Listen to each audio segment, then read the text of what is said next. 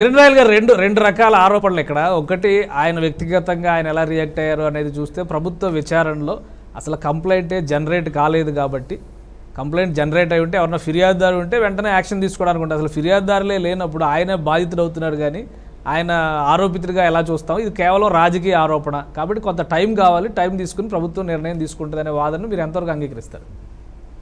నాకు రెండు అనుమానాలు ఉన్నాయండి ఒకటి వచ్చి గత సంవత్సరంలో టీటీడీ ఎస్వీబీసీ చైర్మన్గా పృథ్వీరాజ్కి ఇచ్చారు. ఐడియా ఉంటుంది. మన వైసీపీలో ప్రభుత్వం రాగానే పృథ్వీరాజ్కి ఒక పదవి ఇచ్చారు ఎస్వీబీసీ చైర్మన్గా అప్పుడు ఆయన ఒక మహిళతో ఆడియో కాల్ మాట్లాడాడు. వెనక నుంచి వాటేసుకుంటాను అనేసి. అంటే? ఇంత సంచలనం వినండి. సార్ ఇంత సంచలనం కాదు. వెనక నుంచి వాటేసుకోవాలి ఉంది అన్నాడు. అన్న మాటకి పృథ్వీరాజు అంటే ఏ కంప్లైంట్ రాలా? ఏ మహిళ వచ్చి పోలీస్ స్టేషన్లో కానీ ఏ మహిళ వచ్చి టీటీడీ చైర్మన్ దగ్గర కానీ టీటీడీ ఈఓ దగ్గర కానీ పోలీస్ కంప్లైంట్ ఇచ్చిన చరిత్రే లేదు. అతను వాయిస్ విన్నారు అతను అది కాదని చెప్పినా కూడా అవన్నీ జరిగినాయి. అతను సోషల్ మీడియాలో అతను వాయిస్ వచ్చిన తర్వాత ఎనిమిది గంటల్లో అతన్ని సస్పెండ్ చేశారు. పార్టీని సస్పెండ్ చేశారు. ఆయనకి ఇచ్చిన పదవి కూడా తీసుకున్నారు. అంతే అప్పుడు ఎందుకు కంప్లైంట్ యాక్సెప్ట్ చేస్తున్నారు? ఇప్పుడు ఎంపీసీని కూర్చేగాడికి ఎందుకు ఎవడు కంప్లైంట్ లేదు మాకు? ఏ మహిళ కంప్లైంట్ రాలేదు? కంప్లైంట్ వచ్చినాక చూస్తామంటే అంటే ఆయనకు ఒక న్యాయమో లేదా ఎంపీకి ఒక న్యాయమా? లేదా ఎంపీకి భయపడుతున్నారా? లేదా పృథ్వీరాజ్కి భయపడలేదా? ఇవి మాకు చాలా డౌట్లు ఉన్నాయి. ఇది క్లారిఫై మన వెంకటరెడ్డి గారు చేయాలి. ఎందుకంటే అప్పుడు సేమ్ ఏ కంప్లైంట్ లేదే పృథ్వీరాజ్ వెనక నుంచి వాటేసుకున్నాడు అని చెప్పి ఒక షో ఒక ఇష్యూ వస్తే. వెంటనే ఇమీడియట్లీ సిక్స్ అవర్స్ తర్వాత. ఈ విచారణ. ఇది జరుగుతుంది అన్నారు ఎన్ని రోజులు ఎన్ని రోజులు సమయం పడుతుంది సార్? మామూలుగా రాష్ట్రంలోనే దేశంలోనే సంచలనం జరిగింది. ఐదు రోజులు అవుతుంది. ఒక ఈ విషయాన్ని ఒక నిజంగా అవునా కాదా? ఇది నిజమా కాదా? ఆ వీడియో అయిందా కాదా తెలుసుకోవాలనుకుంటే నిజంగా ఆయన సహకరిస్తే ఎవరు గోరింట్ల మాధవ్ సహకరిస్తే పోలీసులు కనుక్కోవాలంటే అర్ధ గంట చాలు. పదహైదు నిమిషాలు. మహా అయితే ఒక్క రోజు రెండు రోజులు. ఏది చేసేది వీళ్ళు విచారణ విచారణ జరగదు పాడు లేదు. ఊరికి ఇవన్నీ ప్రజల్ని తలకాయలో అదే బుర్రలేని చూడా? అలాంటి మాటలు వైసీపీలో మాట్లాడతారు. ఈ రెండింటికి నాకు కొంచెం డౌట్లు ఉన్నాయి. కొంచెం క్లారిఫై చేస్తారేమో మిత్రుడు వెంకటరెడ్డి గారు చెప్తారు. వెంకటరెడ్డి గారు. వెనక నుండి వాటేసుకుంటే బాగా ఉంటది. అన్న పృథ్వీరాజు గారు. చమ్మగా ఉంటది.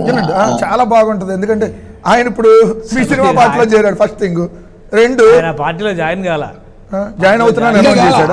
ఆయన క్లెయిమ్ మీ చేసుకుంటాడు పార్టీ జాయిన్ ఎవరు అవుతారు ఖండించండి సార్ అట్లాంటి వాళ్ళు మేము తీసుకోవాలి. నోటిఫికేషన్ ఏదో రిలీజ్ చేశారు కదా జనసేన మేము అట్లాంటి పృథ్వీరాజ్ అనే కామరాజుల్ని మేము తీసుకు ఒక్క నిమిషం అలాంటి. పృథ్వీరాజ్ అనే కామరాజుల్ని వెనక నుంచి ఆటేసుకుంటే బాగుంటది ముందు నుంచి అనే వాళ్ళని మేము తీసుకోవండి అని చెప్పి ఖండించండి. రెండు ఆ ఇన్సిడెంట్ జరిగినప్పుడు ఆయన ఎక్కడ కంప్లైంట్ ఇవ్వాల నీకు తెలుసుకోవాల్సిన విషయం అది నా ఫేక్?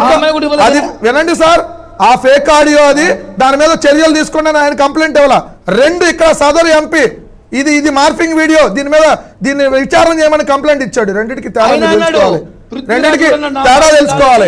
పృథ్వీరాజు పృథ్వీరాజుని మీరు వెనకేసుకొని.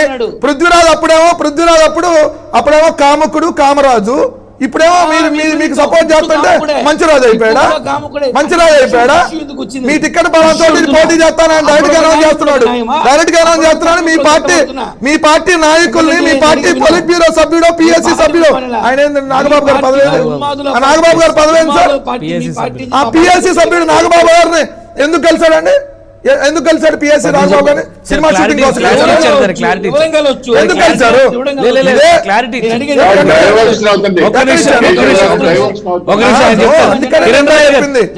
గారు అక్కినే నాగేశ్వరరావు గారి సినిమా ప్రేమనగర్ బాగా సూట్ అయింది మీ అందరికి.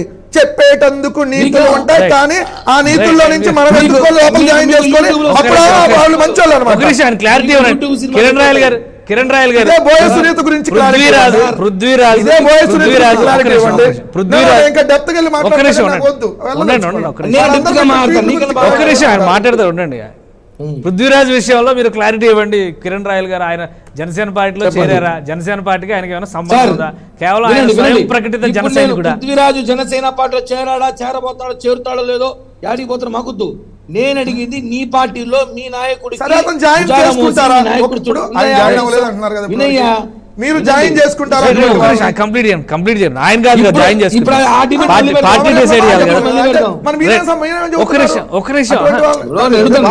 ఆయన. ఇప్పుడు ఇవ్వండి. ఆ డిబేట్ కాదు ఇది. ఎందుకు కాదు? మీరు ఎత్తారు కాబట్టి ఆ ఇదేంటి బిట్టు? ఇదేంటి బిట్టు?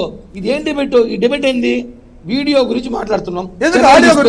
అప్పుడు తీసుకో చర్యలు. అప్పుడు చర్యలు అదే తీసుకోలేదా? న్యాయం అదే సూత్రం. ఇప్పుడు. ఆయన ఒక బాధితుడిగా కంప్లైంట్ ఇచ్చాడు. మీరు తెలుసుకోవాల్సినటువంటి అంశం జనసేన వాళ్ళు. ఆయన ఒక బాధితుడిగా అది అది మార్ఫింగ్ వీడియో. దాని మీద మీరు ఎవరి నుంచి వచ్చింది ఎక్కడి నుంచి వచ్చిందో మీరు- ఎంక్వైరీ నిమిషం, పోలీసులు కంప్లైంట్ ఇచ్చాడు మీ దగ్గర అది నిజమైనటువంటి అన్నప్పుడు? నిజమైనటువంటి అంటే మీ దగ్గర ఆ మహిళ ఉంటే ఆ మహిళను తీసుకొని వచ్చి కంప్లైంట్ ఇచ్చండి. ఇది నిజమైన వీడియో అని కంప్లైంట్ ఇస్తే ఎస్ డెఫినెట్లీ ఇమీడియట్గా ఇమీడియట్గా. వీళ్ళేంటంటే అడిగారు. నేను తీసుకుంటాను చెప్పండి.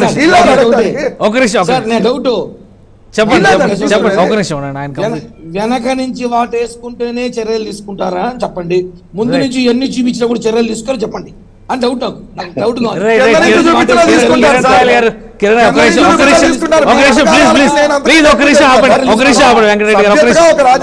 సభ్యతగా గౌరవంగా హుందాగా మాట్లాడుకుందాం. దయచేసి ఒక నిమిషం. ఒక నిమిషం ప్రసాద్ గారు. ప్రసాద్ గారు ఒక నిమిషం ఒక నిమిషం.